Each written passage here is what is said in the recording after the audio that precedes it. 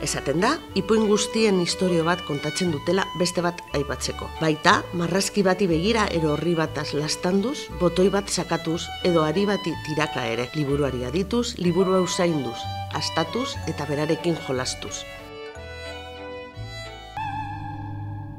Compañía Maitanes Arralde, una pieza de danza contemporánea sobre la pared. Madre Perla, además de ser una sustancia orgánica dura, blanca y brillante, también es un dueto, un encuentro en un paisaje de danza que nos desorienta, nos desafía y nos revela. Muestra de cortometrajes al aire libre.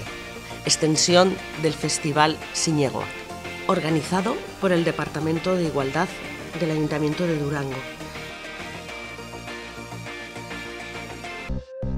Espectáculo interactivo con participación del público para toda la familia. La protagonista es la duranguesa Joana Ocaña.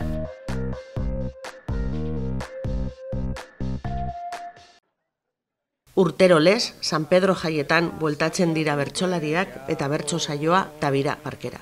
Kasu honetan gurekin Nerea Elustondo, Iruri Altxarreka, Unai Iturriaga eta Bikior Salterain. Izaten dau beintzat bere txoa.